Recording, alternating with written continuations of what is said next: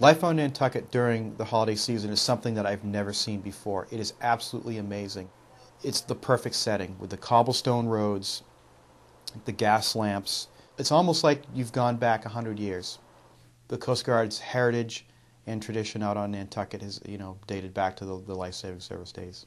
Christmas is a big deal on the island, and we definitely like to do our part in uh, keeping that tradition going. We've been doing this wreath for decades. BM2 John Murphy is our basically the foreman on the wreath project.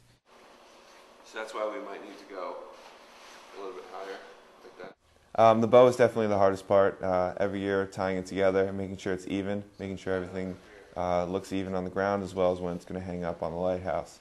Every year, that seems to be the battle with us that takes the longest. Where all the different pieces meet, we actually have to sew them together with a thick fishing line. Um, so it's clear, it goes through, and it's uh, we sew it on each part so it meets in the middle, so everything's sewed into the center.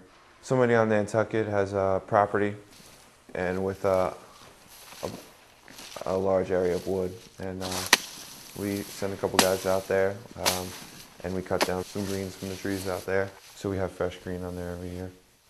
I fill up the bed of the truck and then we take it back to the station and uh, that's where the guys uh, set it up and put it on the wreath after the bow's already constructed. Um, we take the wreath and we place it on the back of the bed of the truck. And uh, we have to drive down on the beach up to the lighthouse. And then once we get there, we have to lift it off the truck. It takes about six guys. And we all uh, carry it over to the rocks right next to the lighthouse and then lift it up. It's definitely uh, needs a group effort. It's not a one-man job. A lot of people comment on it. They tell us how great it looks every year. And a lot of people are excited about it coming up every year. I know the whole station really appreciates it.